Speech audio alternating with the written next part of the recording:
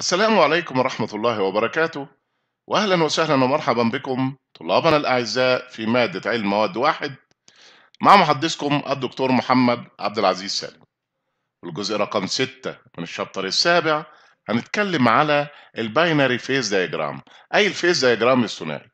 Binary phase diagram are a maps that represented the relation between temperature and the composition and the quantities of phases at equilibrium which influence the microstructure of an alloy. يعني ال binary phase diagram عبارة عن إيه؟ عبارة عن خريطة بتوضح أو curve أو رسم بيوضح العلاقة ما بين ال temperature وال composition والكميات المختلفة بتاعة ال phases عند ال equilibrium عند مرحلة توازن والتي تؤثر بدورها على ال microstructure بتاع السبيك. تعال نشوف أول نوع ك example على ال equilibrium phase diagram. عندي أول نوع اسمه complete solubility in liquid state and complete soluble in solid state. ده اسمه binary isomorphous system. في الحقيقة زي ما انت شايف مثال عليه يمكن ال copper مع النيكل.